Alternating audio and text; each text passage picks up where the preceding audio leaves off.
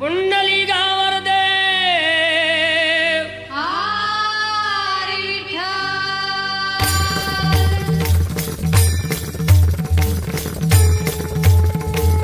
आपले आराध्य दैवत असलेले विठ्ठल रुक्माई यांना देखील रुखरुख लागली असेल.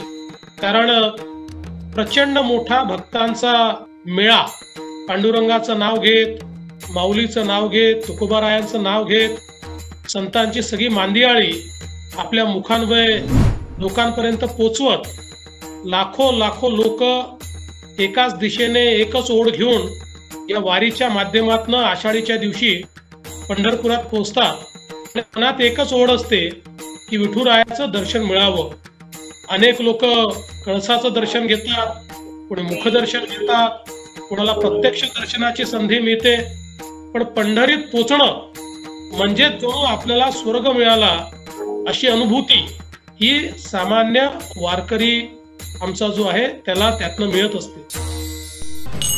या कोरोनाच्या काळामध्ये जरी आपण तिथे जाऊ शकलो नाही तरी देखील आमची माऊली तर ठाई ठाई आहे.